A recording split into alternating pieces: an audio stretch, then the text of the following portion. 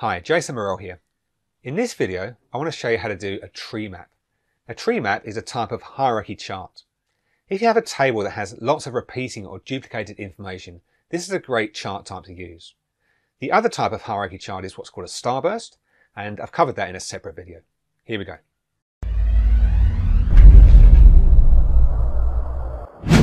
In our example table here, we have two different meals, breakfast and lunch, two different categories, beverage and food, and for each of those, various items.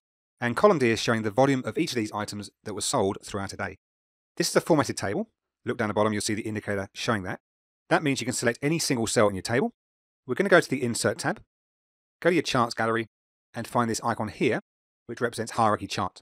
And there's two options in here, the first of which is Tree Map. This is what a tree map looks like.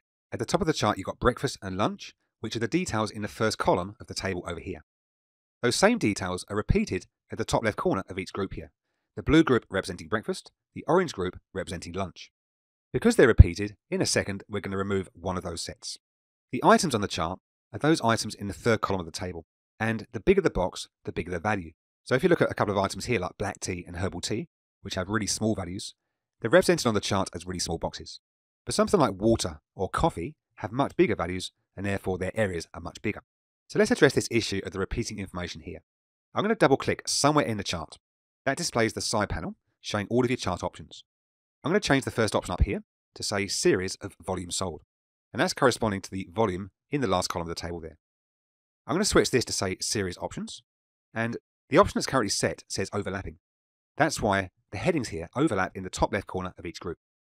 If we change that to banner, it actually assigns a box for each of those items above the main diagram itself. Or if you choose none, it switches off from the diagram entirely, and you can actually get away with that because the legend is telling you that information anyway, so having it in one place is fine. To improve the chart even further, I would add data labels.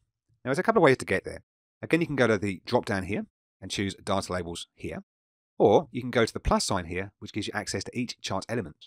And under data labels, if I click the right arrow there, and then more data label options, it brings me to the right place or the same place in the side panel here.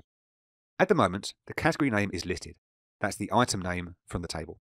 If we tick value, it adds that value next to the item name. So now, not only do you get the size of the box, which instantly tells you which are the bigger items and which are the smaller items, but you get specific values as well. And that could be useful.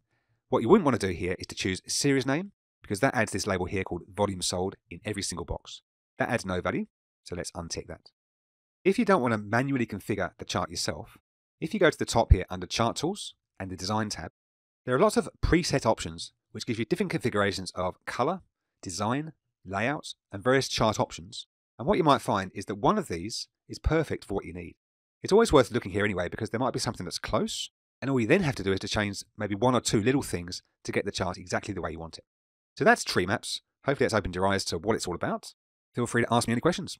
See you for the next one.